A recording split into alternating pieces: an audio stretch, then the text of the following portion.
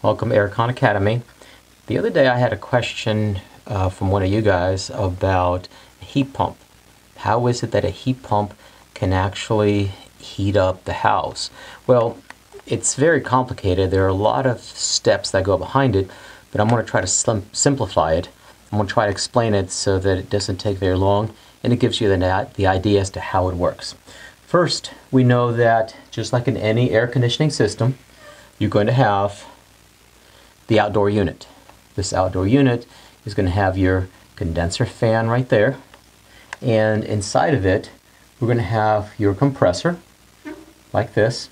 This compressor is going to put the gas out and it's going to go to the outdoor coil. From this outdoor coil, it's going to come through here and is going to travel through the liquid line into the house where the metering device is,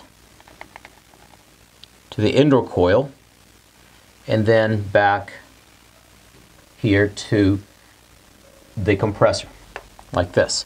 So we still have the four basic parts, the compressor, the condenser, the metering device, and the evaporator. We're going to draw a wall here and there's our plenum.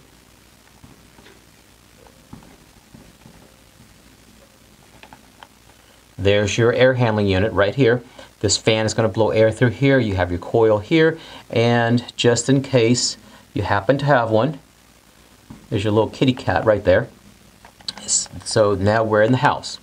So you have your four basic components. Here on this side, we're going to have high pressure, superheated refrigerant vapor leaving the compressor. It's going to be leaving the compressor, going out here. It's going to be around, let's say, I don't know, let's say 200 degrees Fahrenheit. 200 degrees Fahrenheit coming out, going to the outdoor unit, is going to give off the heat to the outside air, turn it into liquid, come in here, and we're going to have, let's say, 75 degrees return air temperature coming in here and it's going to be going out let's say around 55 degrees your supply air temperature. So this is what's happening in your air conditioning system. But now to turn this into a heat pump the main thing that we need is going to be what they call a reversing valve. Your reversing valve basically would be mm-hmm. right here. Now this reversing valve is going to receive the gas that's coming out of here and it's going to reroute it. It's going to reroute it from here.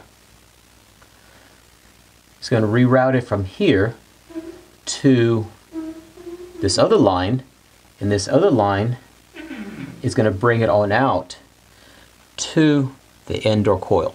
So now this coil is going to be acting like a condenser basically comes in as high pressure,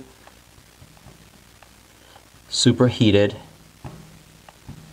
vapor, and it's going to come out as high pressure, subcooled liquid coming back through my liquid line.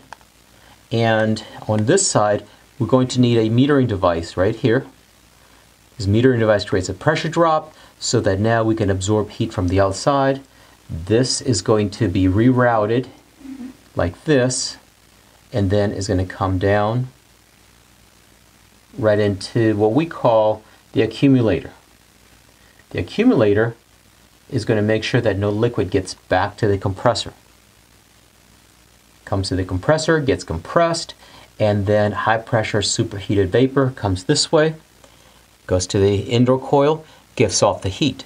So now what happens is air is coming in here. Let's say it's winter time, so let's say 72, 73 degrees, and it's coming out at, let's say, 90 or 95 degrees, heating up the room like this.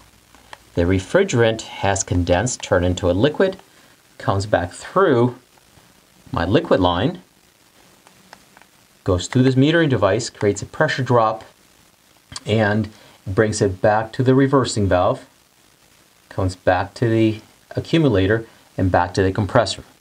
Now what happens is at some point you're going to want cooling again. So now this refrigerant is going to be rerouted from here to the outdoor coil so that this can condense it. On this side here, what we're going to do is we're going to have a check valve. This check valve will allow flow in only one direction. So now it goes around the metering device through my liquid line, coming this way, up in here. This creates a pressure drop. This acts like an evaporator, cools the air down. So now we can cool the room down. Comes back, as a gas through here to the reversing valve, makes a U-turn, comes back to the accumulator and back to the compressor. Now we have a metering device and a check valve. Here we're also going to need a metering device and a check valve like this. So now we have two check valves, two metering devices, a reversing valve right here. Some people call this a four-way valve or they call it a reversing valve. I myself, I call it a reversing valve.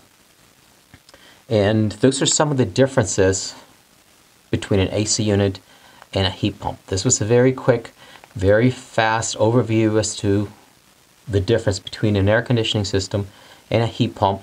So these are your major components here, here, here, here, and here. Now remember, all of these, some engineer has designed the system, so they have to be the correct ones for this system, for this tonnage, and for this refrigerant. So hope, hopefully this helped. Hopefully this helped you understand the uh, heat pump cycle.